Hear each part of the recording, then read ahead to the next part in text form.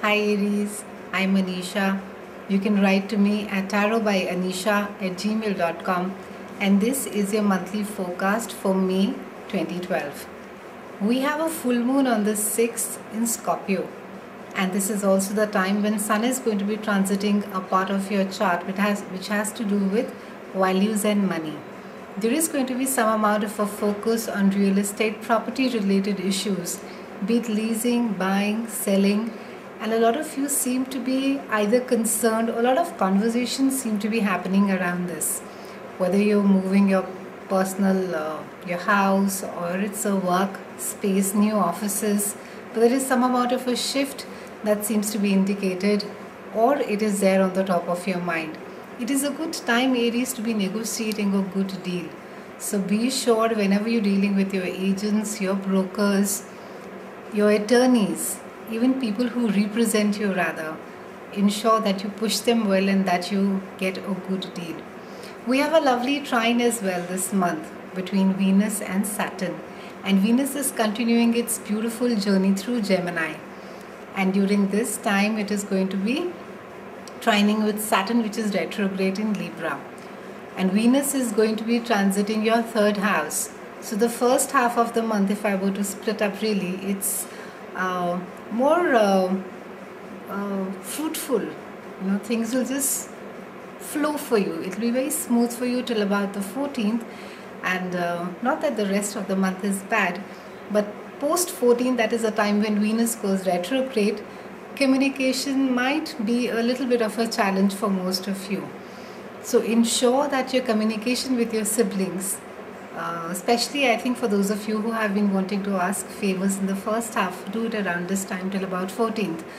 Ensure that um, any partnership deals, any uh, verbal communication, any interaction with partners, with business partners, with closer partners, gets done at this point of time. It is also a good time to be learning something. So if those of you who have, who have been thinking about maybe picking up a new language or maybe traveling to a foreign city and um, learning about its cultures, you know, it's a good time to uh, pursue that. Post 14th, however, when Venus gets retrograde, you know, it, it's a it's 50-50 this month. You will just have to be a bit watchful about how it is that you deal in your closest relationships and ensure to give people some space Aries you know you uh, you mean the best and uh, you mean uh, well and you're very forthright but this month try not to stamp on uh, a lot of toes be very careful be uh, it is not what you say but it is how you say it so be careful of your tonality. Be careful of what you want to say comes out in the right way. It will be important for you this month. We have Saturn, which is uh, also retrograde. Uh, like I said, it is uh, retrograde in Libra, and it is going to be transiting your seventh house. And your seventh house rules partnerships, marriage, and a lot of contractual obligations as well. So, for those of you who have been waiting for a deal to get signed or come to you, or for those of you who are in the process of signing a deal, it could have to do with a, uh, you know something to do with the legal um, person that you're dealing with.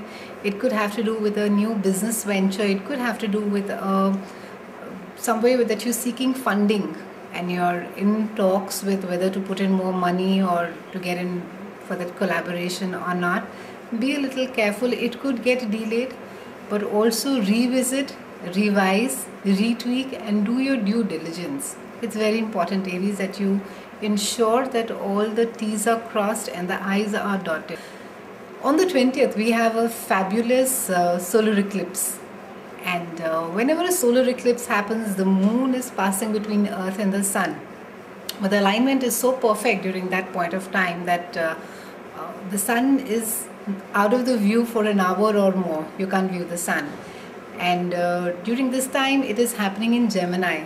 And Gemini is a sign which seeks, it's a communicator, it's a talker. Uh, you know, it's, it's very chatty, witty planet.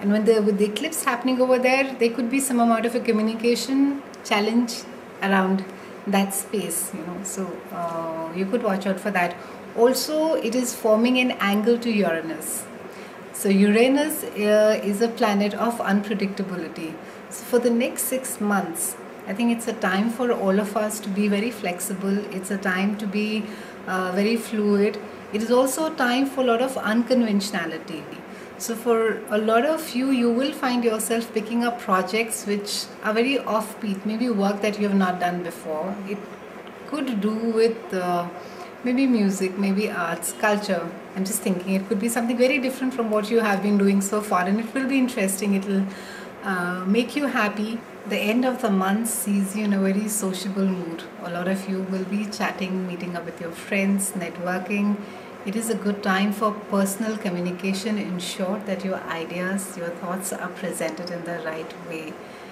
It is also a good time, it is not to be depending on others.